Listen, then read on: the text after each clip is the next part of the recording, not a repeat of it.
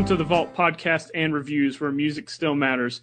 You can check out everything we're doing at facebook.com slash the vault RVWS, youtube.com forward slash C forward slash the vault reviews.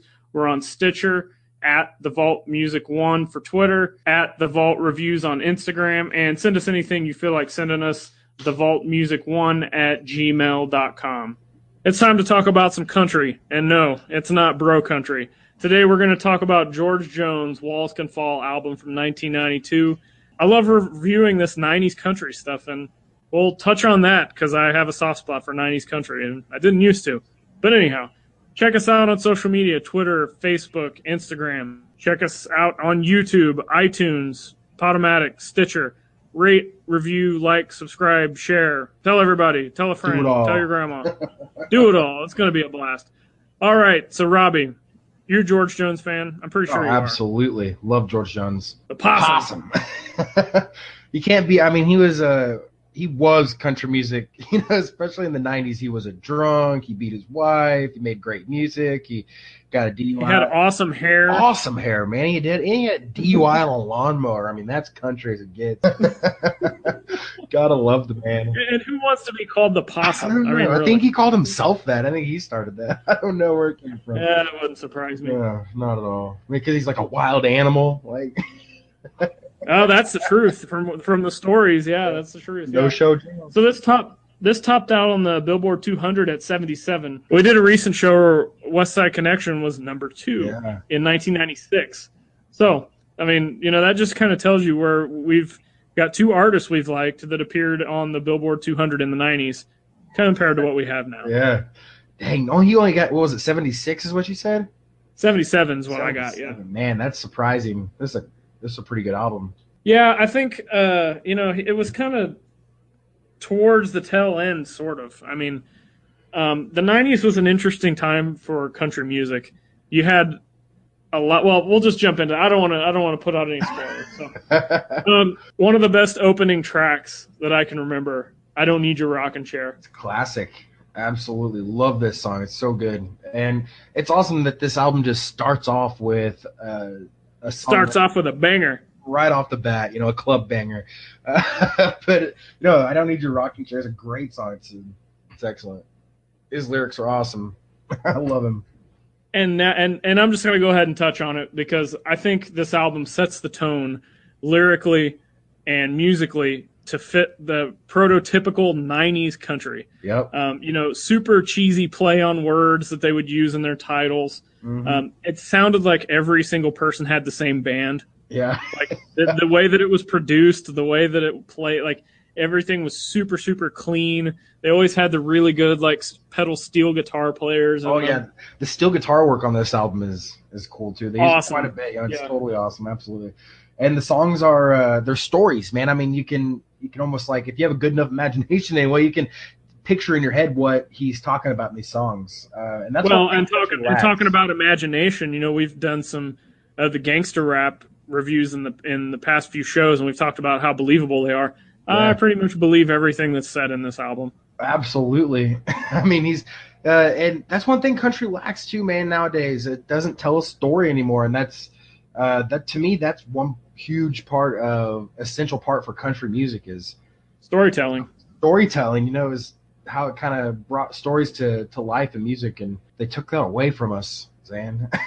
well, and you know, into my favorite track. I know I'm kind of skipping around, but my favorite track, "The Bottle Let Me Down." Okay, you got the play. You got the classic kind of play on words title.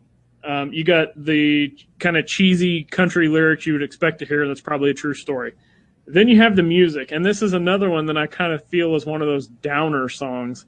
Just yeah. the tones of the steel guitar being played and the tempo. Oh man, you It's just sit- like you can sit by yourself and get whiskey drunk to this. like kind of I feel like I'm falling off a bar stool just listening to this. Yeah, yeah, exactly. That was one of my favorite songs too. Actually, was the bottle let me down. He's what's he say? The uh, the one friend I thought I found Yep. tonight. The bottle let me down. it's like man, man, it was is uh, is a true song though too. At least it, feel, it felt true. Uh, Oh, I believe it. Yeah, for sure.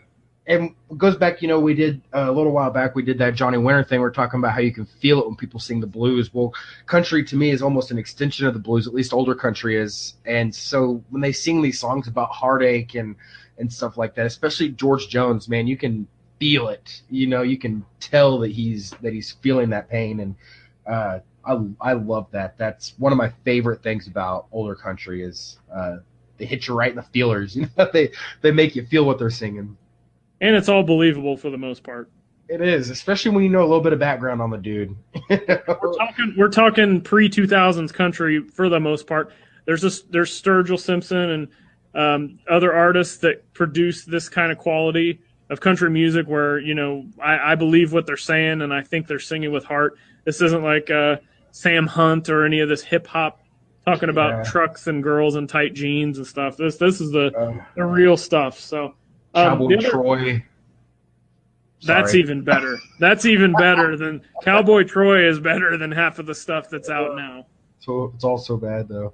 Um, yeah, um, I, I, had a few really uh, favorite songs on this one. Uh, the bottle let me down was one of them. You walked across my mind again uh, was another one. And one thing I liked really liked about this song was first off, anytime a country song starts off with talking about waking up in jail, you know it's gonna be good. Uh, this was this had all the elements of a great country song. Uh, he got drunk. He he thought of a girl. He broke a bottle. He broke the jukebox. He went to jail. You know that's country. Booze, heartbreak, destruction of property, jail. I, I like there you go.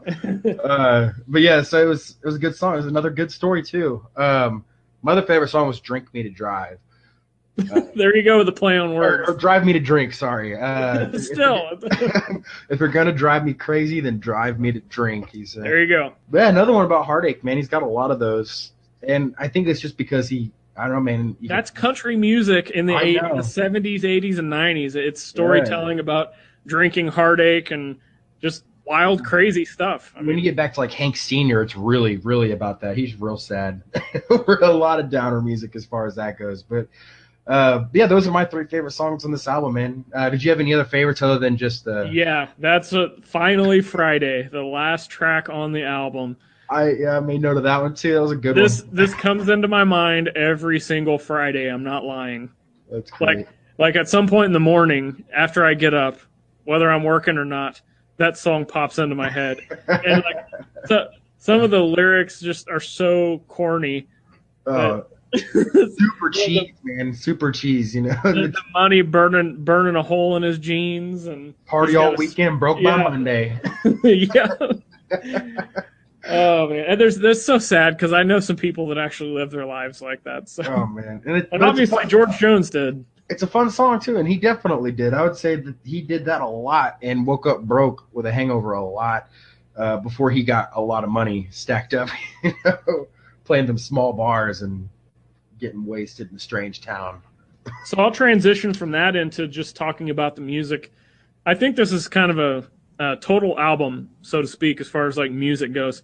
Um, yeah. You've got the stuff like "I Don't Need Your Rocking Chair" and "Finally Friday," which you know could be radio friendly songs, mm-hmm. um, kind of a little bit more up tempo, you know, really catchy. "The Bottle Let Me Down," little bit of a downer song, and still catchy, like some really cool steel guitar parts in there.